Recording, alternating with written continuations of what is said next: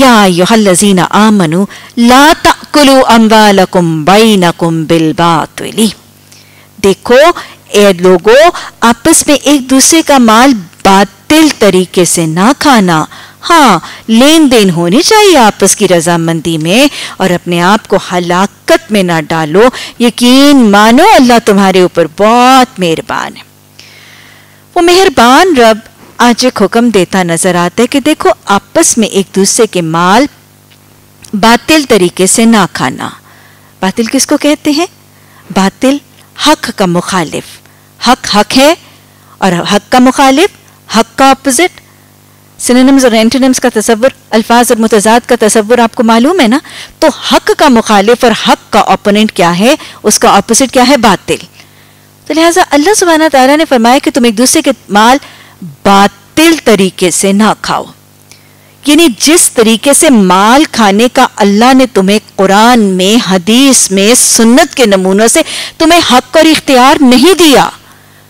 شریعت نے قرآن اور حدیث نے تمہیں جس مال کھانے کا حق ادا نہیں، جو ہے نہیں دیا، تمہیں اختیار نہیں دیا اور پھر یہاں تمہیں شریعت نے منع کیا ہے، ویسے ایک دوسرے کا مال نہ کھاؤ۔ یہ باطل طریقے سے ایک دوسرے کے مال کھانے کے زمرے میں کون کون سے عمل شامل ہیں؟ کہ ظاہر ہے یہ قرآن کا لا ہے نا؟ قرآن کا ڈھونٹ ہے، نواہی ہے اللہ سبحانہ تعالیٰ کی۔ کوئی اس کو جاننا بہت ضروری ہے۔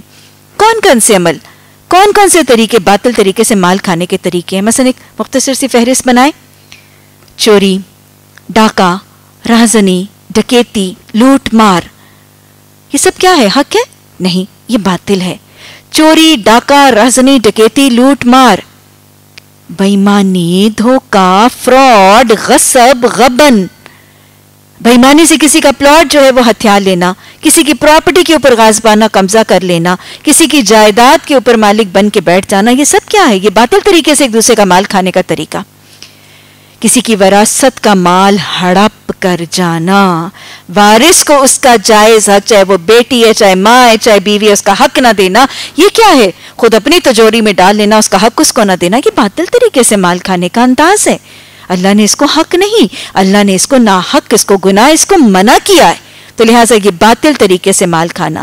کسی بیوہ کا، کسی یتیم کا، یہ وہ دو لوگ ہیں نا جن کے مال کھانے سے اللہ سبحانہ تعالی رسول اللہ صلی اللہ علیہ وسلم نے منع فرمایا تھا اور جو سات بڑے بڑے گناہ موبقات کی فہرست میں آپ نے فرمایا تھا۔ اور پھر آپ نے فرمایا تھا، میں تمہیں دو مظلوموں کے مال سے بچنے کی تاکید کرتا ہوں یتیم اور بیوہ۔ تو ان لوگوں کا مال ظلم اور زیادتی سے کھا لینا یا سمیٹ جانا یا ہڑپ کر جانا، یہ بھی باطل طریقے سے مال کھانا۔ اسی طرح تجارتی معاملات میں بےمانی اور خیانت۔ جھوٹی قسم کھا کے مال بیچ دینا۔ ناقص ردی ناکارا مال چھپا کے نکال دینا۔ ذخیرہ اندوزی کرنا، بلیک مارکیٹنگ کرنا، ہوڈنگ کرنا، اپنے مال کی قیمت سے زائد مال کی قیمت وصول کرنا، یا حرام کاروبار اور حرام چیزوں کی کاروبار کرنا، یہ سب کیا ہے؟ یہ ایک دوسرے کا مال حرام طریقے سے اور باطل طریقے سے کھانے کے زمرے میں شامل ہے اور یہ قرآن اور اللہ کے احکامات کی نواحی اور ڈونٹس کا حصہ ہے۔